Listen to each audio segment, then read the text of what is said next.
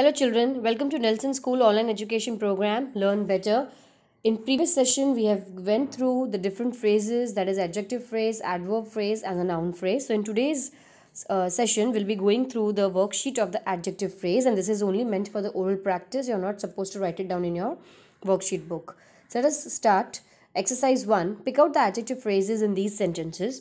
So it's a young girl with a smiling face greeted me at the door. So here a young girl, this noun girl is modifying with this phrase that is with a smiling face. So this phrase modifies the noun. So it is an adjective phrase. This is a question of great importance. Which sort of question it is? Important question. Okay. So of great important phrase is modifying the noun question.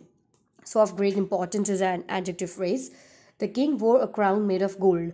So what crown, which crown did the king wear? So it's a golden crown or the crown made of gold. So made of gold is an adjective phrase.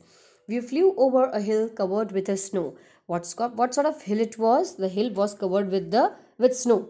So it's covered with snow is the adjective phrase. So you can say a snowy hill. Number five, a friend in need is a friend indeed. So here in need is a phrase that modifies the noun that is or depicts a noun, a friend. So it is an adjective phrase. The news given by you is quite alarming.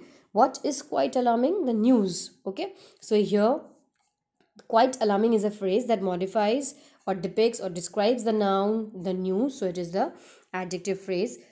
We had to walk a long path for full of thorny bushes. What sort of path it was? It was a thorny bushed path. So it's a path, it's a noun, and full of thorny bushes is an adjective phrase. My father is a man of few words. So here, of few words is an adjective phrase that describes the noun a man. So we have picked out the adjective phrases. Let's start with the question exercise number two that is replace underline adjective phrases by adjectives given in the bracket. We can see the adjectives, different adjectives like popular, honorable, memorable, villain, and professional. Now the first is Brutus was a man of honor. So you can say Brutus was an honorable man. 15th August is a day to be remembered, remembered, so it's a memorable day. Cricket is a sport liked by many people in India, which is liked by many people, so it is quite popular. Number four, in winter we wear clothes made of wool, so it's woolen cloths. Tenali Raman was a man of great wit, so he was a witty man. Number six, Dhoni is a cricketer by profession. So you can say he's a professional man. Exercise 3. Replace the underlined adjective by adjective phrases. Now here adjectives are given. You have to replace them with adjective phrases. I was given a responsible job. So job is a noun and responsible is an adjective. Change it into an adjective phrase that is a job with responsibility.